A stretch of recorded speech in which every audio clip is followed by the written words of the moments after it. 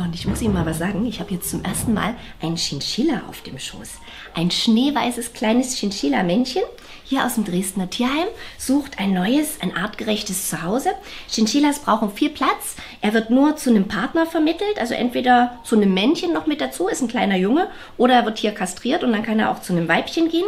Er hat ein kleines Problem mit dem Augen, das heißt, er muss zweimal am Tag Augentropfen bekommen, aber ansonsten ist er ganz zauberhaft sind keine Tiere für kleine Kinder, äh, sind eher so zum Beobachten und fühlen sich genauso plüschig an, wie sie aussehen.